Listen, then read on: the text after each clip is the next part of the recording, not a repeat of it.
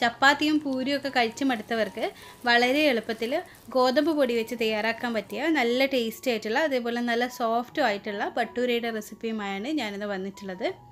വളരെ എളുപ്പത്തിൽ തയ്യാറാക്കാൻ പറ്റിയ ഈ ഒരു ഡിഷ് നമുക്ക് ബ്രേക്ക്ഫാസ്റ്റ് ആയിട്ടും ഡിന്നറായിട്ടും ഒക്കെ സെർവ് ചെയ്യാൻ പറ്റുന്നതാണ്. അപ്പോൾ നമുക്കിത് എങ്ങനെയാണ് തയ്യാറാക്കുന്നതെന്ന് നോക്കാം. ഞാനിവിടെ ആട്ടപ്പൊടി അതായത് ഗോതമ്പ് മാവ് വെച്ചാണ് ഈ ഒരു ബട്ടൂര തയ്യാറാക്കിയെടുക്കുന്നത്. അതിന് വേണ്ടിയിട്ട് രണ്ട് കപ്പ് ആട്ടപ്പൊടി ഒരു ബൗളിലേക്ക് ഇട്ട് കൊടുക്കുക ഇതിലേക്ക് രണ്ട് ടേബിൾ സ്പൂണ് റവ അതായത് തരി ചേർത്ത് കൊടുക്കുക. നമ്മൾ സാധാരണയായിട്ട് ഉപ്പുമാവിനൊക്കെ എടുക്കുന്ന ആ ഒരു റവ രണ്ട് ടേബിൾ സ്പൂണാണ് ഇതിലേക്ക് നമ്മൾ പാകത്തിന് ഉപ്പ് ചേർത്ത് കൊടുക്കണം. അതേപോലെ തന്നെ ഒരു ടേബിൾ സ്പൂണ് പഞ്ചസാര ചേർത്ത് കൊടുക്കണം. പിന്നെ ഇതിലേക്ക് ചേർക്കേണ്ടത് അര ടീസ്പൂണ് ബേക്കിംഗ് പൗഡറാണ് പിന്നെ കാൽ ടീസ്പൂണിൽ താഴെ ബേക്കിംഗ് സോഡ കൂടെ ചേർത്ത് കൊടുക്കണം. ഇതെല്ലാം കൂടെ നമ്മൾ നന്നായിട്ടൊന്ന് മിക്സ് ചെയ്ത് കൊടുക്കുക തൈര് ചേർത്തിട്ടാണ് നമ്മളിത് കുഴച്ചെടുക്കുന്നത്. അപ്പോൾ റൂം ടെമ്പറേച്ചറിലുള്ള അരക്കപ്പ് പുളിയില്ലാത്ത തൈരാണ് ഞാനിതിലേക്ക് ചേർക്കുന്നത്.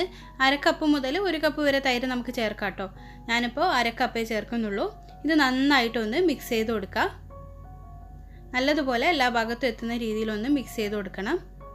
ഇതിന് ശേഷം നമ്മൾ സാധാരണയായിട്ട് ചപ്പാത്തിക്കൊക്കെ കുഴച്ചെടുക്കുന്നത് പോലെ തന്നെ ആവശ്യത്തിന് വെള്ളം ഒഴിച്ചിട്ട് കുഴച്ചെടുക്കാം.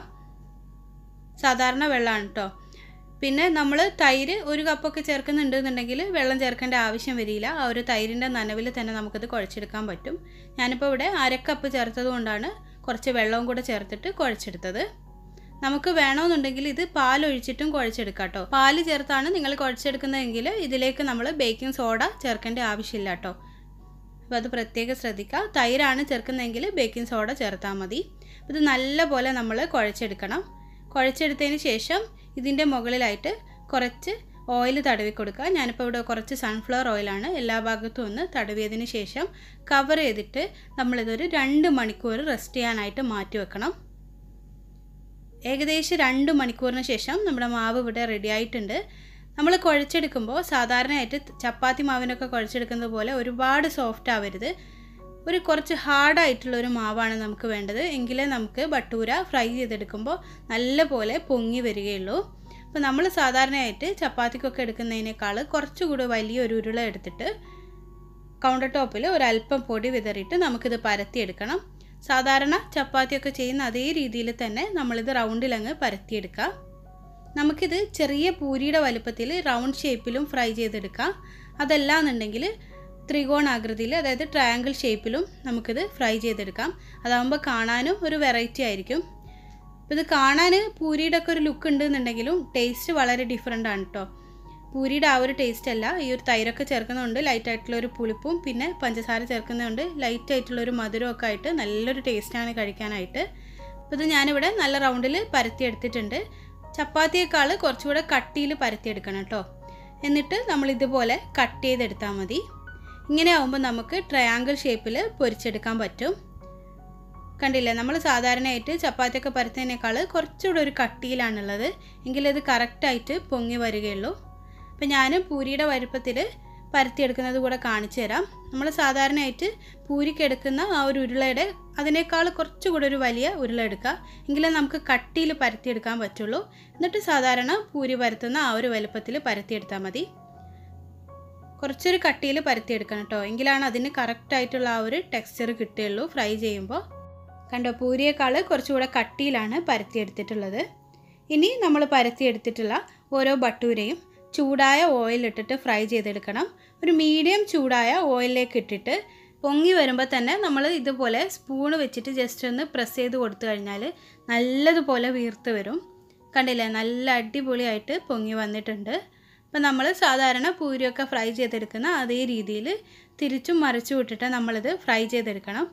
കാണാൻ ഇത് ഏകദേശം പൂരിയുടെ ഒക്കെ ആ ഒരു ലുക്ക് തന്നെയാണ് കേട്ടോ. പക്ഷേ പൂരിനേക്കാൾ കുറച്ചുകൂടെ ഒരു എന്താ പറയുക പെട്ടെന്ന് തന്നെ കളറാവും. അതേപോലെ എല്ലാ ഭാഗവും ഒരുപോലെ കളറായിട്ട് കറക്റ്റ് ആ ഒരു പൂരിയുടെ ഷേപ്പല്ല ആ ഒരു ലുക്കല്ല അതിനേക്കാൾ കുറച്ചുകൂടെ ഒരു ഡിഫറെന്റ് ആയിട്ടുള്ള ലുക്കാണ് പക്ഷേ കഴിക്കാനായിട്ട് ഇത് പൂരിയുടെ ടേസ്റ്റ് അല്ല. ഇത് അതിനേക്കാളും ടേസ്റ്റാണ് ആട്ടപ്പൊടി ആയതുകൊണ്ട് തന്നെ നമുക്കിത് ധൈര്യമായിട്ട് കഴിക്കാൻ പറ്റും. സാധാരണയായിട്ട് ഭട്ടൂര തയ്യാറാക്കുന്നത് മൈദയിലാണ്. മൈദയിലാണെങ്കിൽ ആട്ടയിൽ തയ്യാറാക്കുന്നതിനേക്കാൾ കറക്റ്റായിട്ടുള്ള ടെക്സ്ചർ കിട്ടും. നല്ല സോഫ്റ്റായിട്ട് കിട്ടും. പക്ഷേ കുറച്ചും കൂടെ ഹെൽത്തി ആട്ടയിൽ തയ്യാറാക്കുന്നതാണ്. അപ്പോൾ നമ്മൾ ഇതേപോലെ തിരിച്ചും മറിച്ചു വിട്ടിട്ട് ഈ ഒരു ഗോൾഡൻ കളറായി വന്നാൽ നമുക്കിത് എണ്ണയിൽ നിന്ന് കോരിയെടുക്കാം. കണ്ടോ? നല്ലതുപോലെ വീർത്ത് പൊങ്ങി വന്നിട്ടുണ്ട്. കുറച്ച് സമയം ഇതിങ്ങനെ തന്നെ ഇരിക്കും. ഇതേപോലെ വീർത്ത് തന്നെ ഇരിക്കും. പെട്ടെന്നൊന്നും അമർന്നു പോവില്ല. ഞാനിപ്പോൾ റൗണ്ട് കൂടെ ഫ്രൈ ചെയ്യുന്നത് കാണിച്ചു തരാം. അതായത് റൗണ്ട് ഷേപ്പിലുള്ള പട്ടൂര കൂടെ ഫ്രൈ ചെയ്യുന്നതാണിത്. കണ്ടില്ലേ? സ്പൂൺ വെച്ച് ജസ്റ്റ് ഒന്ന് പ്രസ് ചെയ്യുമ്പോൾ തന്നെ നല്ലതുപോലെ പൊങ്ങി വന്നിട്ടുണ്ട്. ഓരോ വശവും റെഡി ആകുമ്പോൾ നമ്മളിത് തിരിച്ചും മറിച്ച് വിട്ടിട്ട് ഫ്രൈ ചെയ്തെടുക്കണം. ഗസ്റ്റൊക്കെ വരുമ്പോൾ തയ്യാറാക്കി കൊടുക്കാൻ പറ്റിയ നല്ല ടേസ്റ്റി ആയിട്ടുള്ള ഒരു ഡിഷാണ് നോർത്ത് ഇന്ത്യയിലൊക്കെ ഫേമസ് ആയിട്ടുള്ള നല്ലൊരു കോമ്പിനേഷനാണ് ഈ ഒരു ബട്ടൂരയും അതേപോലെ ചോല. ചോല എന്ന് പറഞ്ഞാൽ ചന മസാല. ആ രണ്ടും നല്ലൊരു കോമ്പിനേഷനാണ് നല്ല ടേസ്റ്റാണ് അത് രണ്ടും കൂടെ കഴിക്കാനായിട്ട്. അപ്പോൾ ആ ഒരു ചന മസാലയുടെ വീഡിയോ ഞാൻ ഇതിന് ശേഷം ഇടാം. ഈ ഒരു റെസിപ്പിക്ക് ശേഷം ഇൻഷാല്ല ഞാൻ ചന മസാലയുടെ വീഡിയോ ഇടുന്നതായിരിക്കും.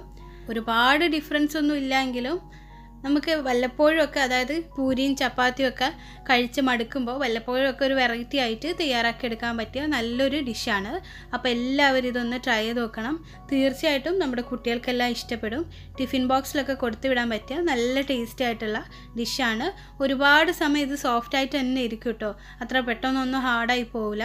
ഞാനിത് കട്ട് ചെയ്ത് കാണിച്ചു തരാം കണ്ടോ? നല്ല സോഫ്റ്റ് ആയിട്ടാണ് ഇരിക്കുന്നത്. ഇതാണ് ഞാൻ നേരത്തെ പറഞ്ഞ ചന മസാല. ഇതിന്റെ കൂടെ കഴിക്കാനായിട്ട് നല്ലൊരു കോമ്പിനേഷനാണ് അപ്പോൾ ഈ ഒരു റെസിപ്പി നിങ്ങൾക്ക് എല്ലാവർക്കും ഇഷ്ടമായി എന്ന് പ്രതീക്ഷിക്കുന്നു. ഇഷ്ടമായിട്ടുണ്ടെങ്കിൽ ലൈക്ക് ചെയ്യണം അഭിപ്രായങ്ങൾ കമന്റ് ചെയ്യണം. ഫ്രണ്ട്സിനും റിലേറ്റീവ്സിനെല്ലാം ഈ വീഡിയോ ഒന്ന് ഷെയർ ചെയ്യണം. അതേപോലെ തന്നെ സബ്സ്ക്രൈബ് ചെയ്യാതെയാണ് നമ്മുടെ ഈ ചാനൽ കാണുന്നതെങ്കിൽ ദയവായിട്ടൊന്ന് സബ്സ്ക്രൈബ് ചെയ്യണം. ഇൻഷാല്ല മറ്റൊരു വീഡിയോയിലൂടെ വീണ്ടും കാണാം.